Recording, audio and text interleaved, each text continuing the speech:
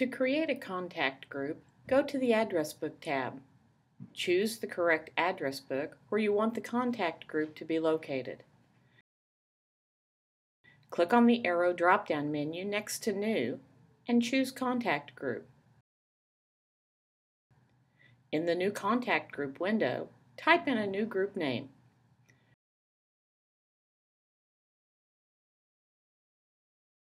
Go to the Find area and begin typing in the name of one of your contacts.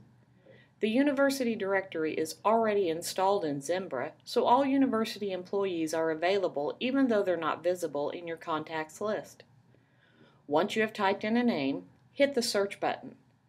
Search results appear in the results window. Choose the correct contact and click the Add button. Repeat these steps for each member of this group.